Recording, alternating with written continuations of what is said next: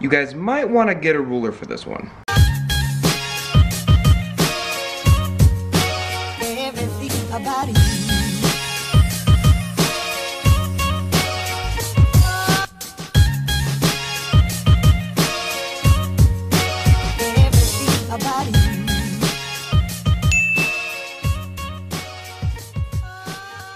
Hello you dirty potters, how are you today? Today we're starting our official entrance into the intermediate playlist. This means that if you're watching this video, you most likely have gone through my entire beginner playlist, which means I've taught you how to wedge, how to center, how to pull, and some of the tips and tricks that come along with those things. For me, at least, the way that I was taught is that all of the beginner knowledge kind of encompasses centering your clay, opening your well, learning how to pull, and then learning the entire gambit of the most basic shapes that you could learn on the wheel. This includes your cups, your bowls, your mugs, your lidded jars, your teapots, your plates. All shapes that you will need later on in the intermediate playlist, as the intermediate playlist is where we get a deeper understanding of our medium as far as clay goes, and the shapes that we can play with. But of course, you need to learn those shapes in the first place, which is why the beginner playlist is so important. You don't really have to be good at them, you don't have to be good at making a master craftsman teapot. This video is a little bit special to me. You see, the way that I was taught was exactly the way I explained to you just now. I learned how to center, I learned how to pull, and then I learned the gambit of all those shapes, and I made the most grotesque looking monster of a teapot that you'll ever see in your whole life. But you know what? I learned the basic shape of a teapot, and that is what encompasses part of the beginner knowledge. But when I first passed my beginner classes and I went into the intermediate classes, I learned how to control my medium a lot better, and I learned the difference in between a beginner crafter and an intermediate crafter. An actual craft. The, the good, the good spicy meatball. Not only am I gonna give you the same lesson that he gave me when I first entered the intermediate classes, I'm gonna give you some tips and tricks to really help you get into that intermediate phase if you're not there yet. And instead of sitting us down and looking at a whiteboard and going like, this is way you just... He barely even spoke to us actually. He instructed us to get two five pound balls of clay, get a little piece of paper and a pen so that we can write down, of course, our results, and then center our clay, open our well, and just sit there do nothing else until further instruction. And what we learned and was illustrated to us afterwards was eye-opening for the majority of us. The majority of us now understood after that lesson the difference in between somebody on his level and someone on our level. A lesson that I'm gonna give you today. Now I'm not gonna ruin the surprise, we're gonna go along on a little journey together. So what I want you to do is number one, get yourself a ruler. Number two, get yourself a pen and a piece of paper so you can write something down. And center your clay and open your well. I'm gonna go do that myself real quick because we're past the beginner phase. I don't need to illustrate to you how to center because you're already there, right? So here's a picture of a cute dog and I'll be right back with that lesson.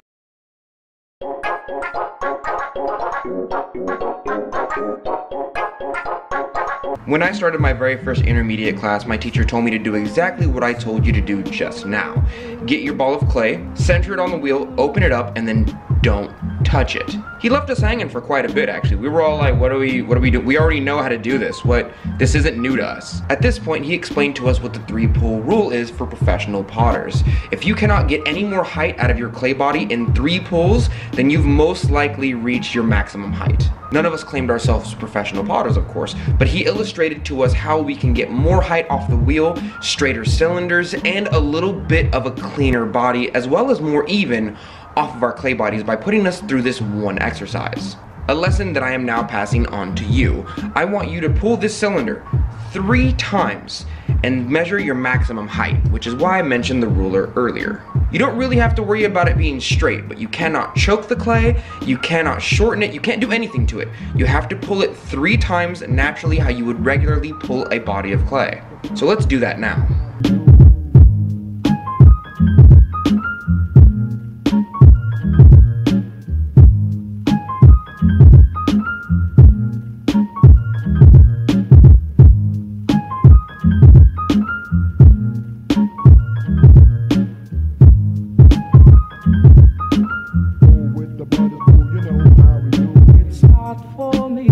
Yeah.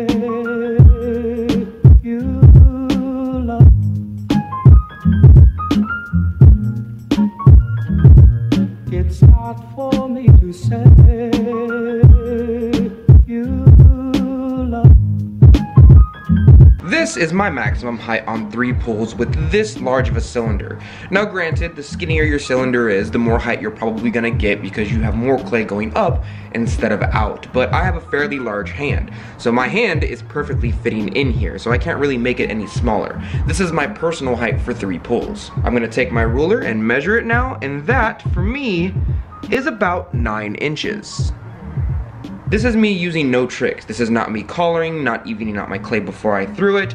This is not me trying anything special. This is me the way I personally throw, very aggressively. This honestly took me about two pulls, and by the third pull, it started to wiggle a little bit because I'm an aggressive puller. We're gonna move on with the lesson by cutting this cylinder in half. We're gonna take half of the cylinder, get our pin tool, and just cut it in half.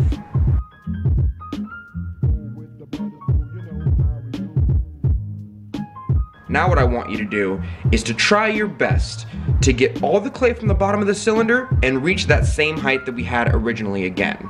Fair warning, you're most likely not gonna reach that height unless you left a lot of clay at the bottom of your cylinder, which is kind of the point of this exercise.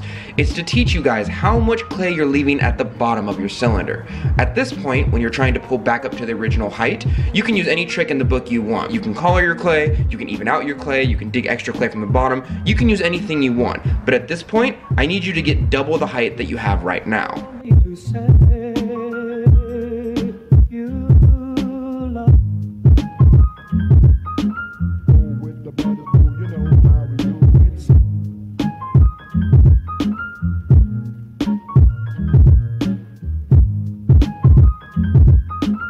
You don't have to make sure the cylinder is straight. You don't have to make sure the cylinder is clean. You don't have to do anything like that because we're not keeping this at the end of the day. But we are gonna measure it now that we've tried to get back to our maximum height. And yep, I got right back up to nine inches. I didn't pull any movie magic on you either. This isn't me getting a whole new cylinder. That original ball of clay that I wedged beforehand, I still actually have over here. This is all the clay that I just pulled from that little tiny cylinder that we had, strengthened up all the way back to its original height. The point of this lesson, once he taught us this, was to teach us about how much clay we have left at the bottom of our cylinders. A lot of our stuff as beginners were a little bit too thick. They were a little bit too uneven. But guess what? Now all the clay from the bottom of here that would have been heavy, where up here is usually a little bit thinner, is now all the way up here. This is probably a pretty even cylinder when I cut it in half.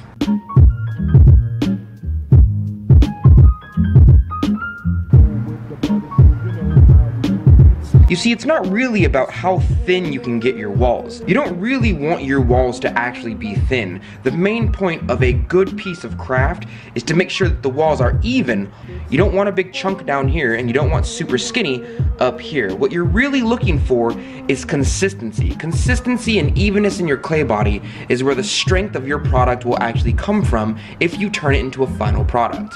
Consistency within your clay body is actually where the strength of your craft will come from. It's not from your pottery being super thin, it's not from your pottery being super thick and uneven. If it's uneven, it's gonna have a little bit of discrepancy in where it actually wants to sit, and it might create cracks in the body. Making a nice, even clay body like this is really what your goal is.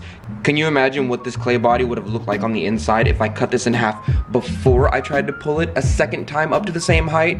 You can only imagine all the clay that I pulled all the way from down here to make this a taller cylinder would have been displayed all the way down here. It would have been one chunky boy, that's for sure. When my teacher had us cut our cylinders in half, we really got the point across. Because from the get-go, we've already been taught to cut our cylinders in half. But we always noticed there was a giant piece of wedge all the way down here whenever we did finally, after this lesson, he said, look, you see how much clay you're wasting? Do you see how much clay is at the bottom of your cylinder? This is the difference in between a beginner and an intermediate crafter. When I learned this lesson, I was blown away, of course, and I still use this as practice today to keep myself a little bit more sharp whenever I have not thrown for quite some time. This is the thing that I go, okay, so this is my limit with this clay, this is my limit with this clay, this is how I'm feeling today. And sometimes I come to the wheel and I don't feel so great, but you know what? I know where I stand as far as my skill level goes every time I I try to do this. As much as I dislike saying it, this is actually a valuable lesson for production potters as well, because you're probably wasting a lot of clay if you're just pumping stuff out day by day by day.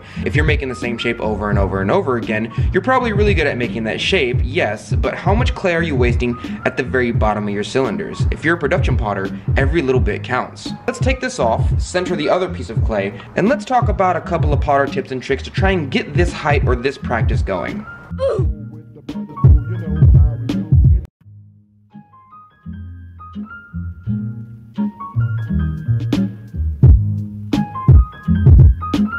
Right now we're at the stage which most people or most potters call donut. And when we get into the donut form, most people just start pulling from this point on. But I've always been taught one extra step by my teacher. In fact, I always thought it was completely normal among all potters until I got out into the pottery world.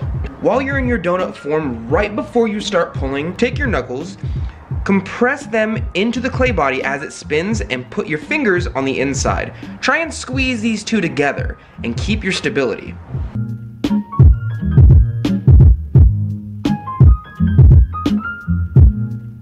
Once you've gotten some nice indents in there, slowly take your knuckles out, move up a little bit, and do it again.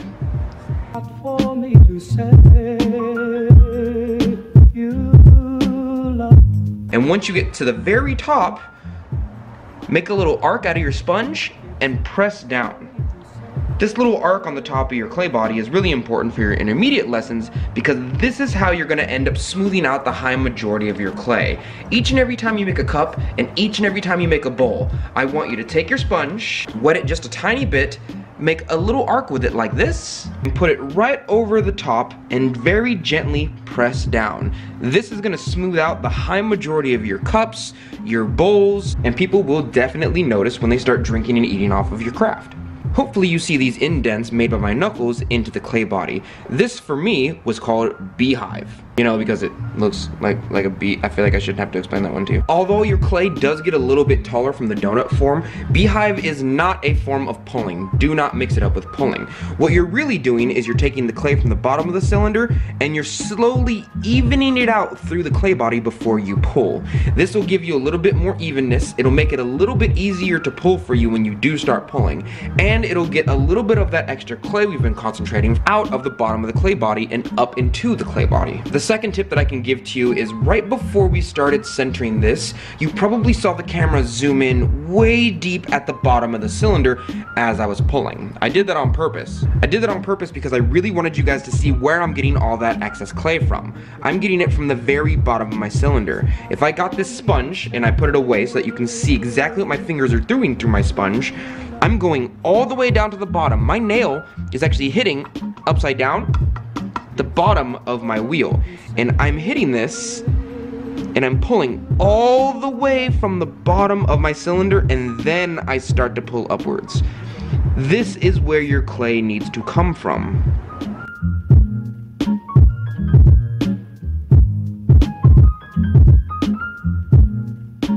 This part of the clay body at the bottom of your cylinder is called the skirt. This is where your clay body is holding the high majority of your clay, and this is where you need to be pulling from when you're trying to get maximum height on your cylinders.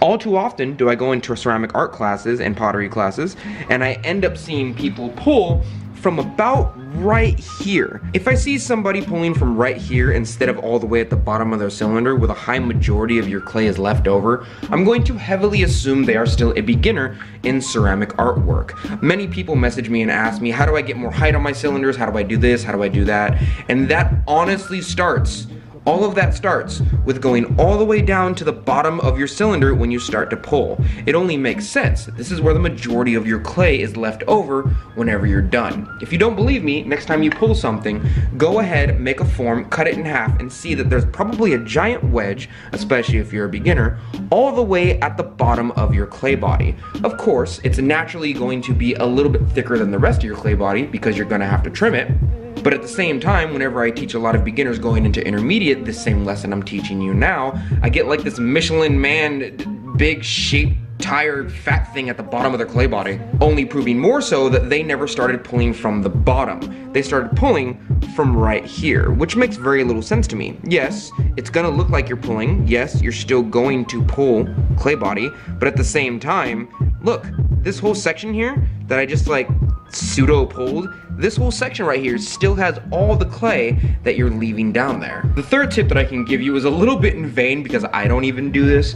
I pull fairly aggressively, which means that as I start from the bottom of my cylinder, I pinch off a big old wedge of clay and that's, that's, I'm taking this up with me. This thing is, if I'm going up, it's going with me.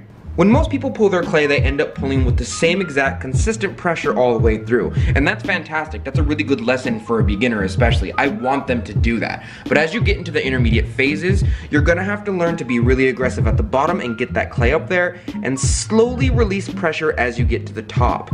All too often do I get people on my Instagram and Facebook DMs asking me, hey, why does the top dry faster than the bottom of my clay body.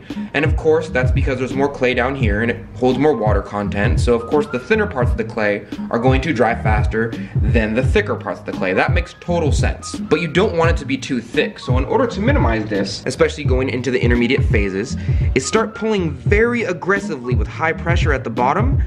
See that big old caterpillar there? And once you get to the top, start releasing pressure very slowly. You see that caterpillar is getting smaller. Once you get right about up here, I would say I'm putting about 20% of the pressure that I was putting down there. This poor clay is so overworked. If you do pull super hard up here and you keep the same energy or the same pressure that you did down there when you should be pulling aggressive to bring all the clay up to the body, you're gonna end up getting one of these. I'm gonna do this on, I'm gonna mess this clay up on purpose for you. You end up getting a super, super thin clay body. Great, now somebody has to eat off of this sharp edge of a vase that you, why would you eat off of a vase? Somebody has to eat off of this super sharp edge that you made and it's probably gonna cut them and it's probably gonna chip really easily because you didn't release pressure as you came up the clay body. This is a super messed up piece of clay. we need to stop. Check it out. I'm expressing myself. I hope those three tips help you guys out a lot, and this was a lesson that was really important for me. It was honestly a turning point in the development of my wheel throwing skills. Number one, learning that I wasn't pulling all the way from the bottom of my cylinder. That was massively important. That changed up the game for me. Number two, displaying that after someone asked me to get that same little piece of clay and get back up to the same height. I was like, wow, there's literally double the height worth of clay down at the bottom of my cylinders just because I'm not pulling from the bottom of my cylinder. I've been pulling from like this area here instead of all the way at the bottom. That's that's why I'm wasting so much clay. That's why my tops are super thin while my bottoms are super thick. That's why my clay is super uneven. This explains so many things. And number three, starting to release pressure as you come all the way up the body.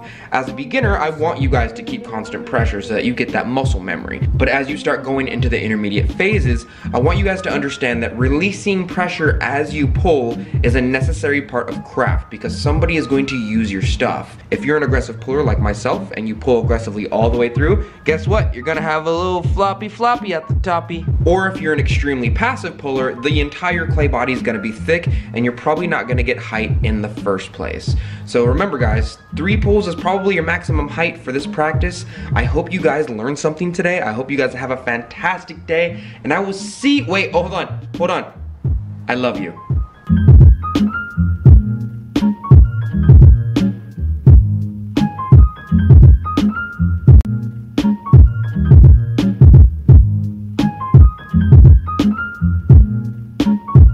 I don't know who's texting me, but uh, they need to go away right now.